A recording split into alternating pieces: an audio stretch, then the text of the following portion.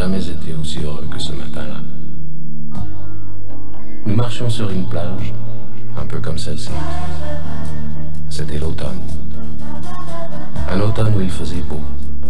Une saison qui n'existe que dans le nord de l'Amérique. Là-bas, on l'appelle l'été indien, mais c'était tout simplement le nôtre. Avec ta robe longue, tu ressemblais à une aquarelle de Marie Laurencin. Et je me souviens, je me souviens très bien de ce que je t'ai dit ce matin-là, il y a un an, il y a un siècle.